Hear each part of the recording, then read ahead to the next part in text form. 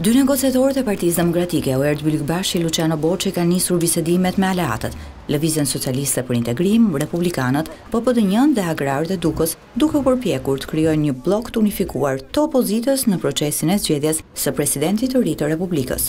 Është një proces politik shumë i rëndësishëm në kuadër të vendosjes së kontrollit dhe balancave Një proces politik që udhëhiqet nga partitë për të gjetur një qëndrim të përbashkët dhe nëse gjithë kjo do të na japë mundësinë ne që të identifikojmë jo vetëm kritere, por dhe kandidatura të cilat përfaqësojnë më së miri jo thjesht opozitën, po rolin e Presidentit të Republikës si përfaqësues i unitetit kombëtar, do t'i shohim të gjitha këto hapësira. Por pavarësisht këtyre përpjekjeve Komisioni i Rithemelimit ka një problem të pakapërcyeshëm, faktin që Edi Rama nuk pranon të ulet me ta në bisedime. Kjo është problemi i zotit Rama. Zoti Rama nëse synon konsensusin duhet të ulet me ato që janë faktorët realë dhe faktorët realë janë Partia Demokratike dhe partitë e tjera opozitare të cilat kanë mandatuar përfaqësuesit e tyre në këtë proces.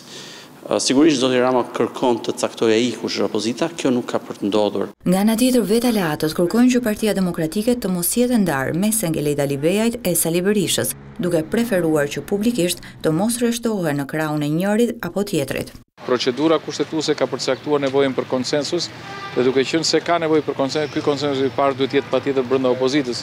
Qoftë se opozita nuk garanton një konsensus mes vetes, s'është koha që të negociojë me mazhorancën. Në një opozitë të bashkuar me një përfaqësim të opozitës edhe mundet të kemi një produkt.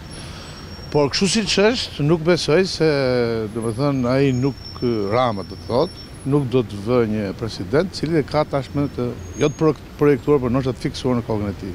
Raundi i parë për zgjedhjen e Presidentit të Republikës do të zhvillohet pasditen e së hënës, por për shkak të çarjes brenda Partisë Demokratike, Ka pak gjasa që opozita të shkojë e bashkuar në seancë.